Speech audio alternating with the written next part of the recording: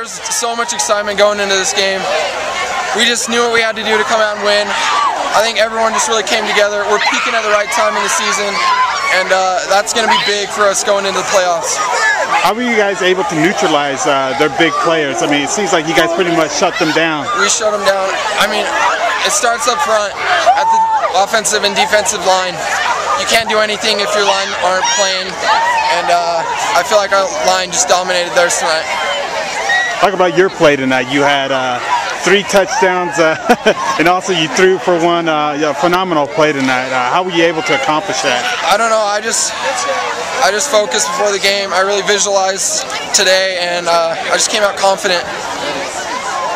Going forward, uh, what do you guys got to get ready for for uh, Woods Cross coming up? Uh, another big game. Woods Cross, we're just gonna stay focused. We're gonna kind of keep this momentum off of this game, and uh, we're gonna take it to Woods Cross.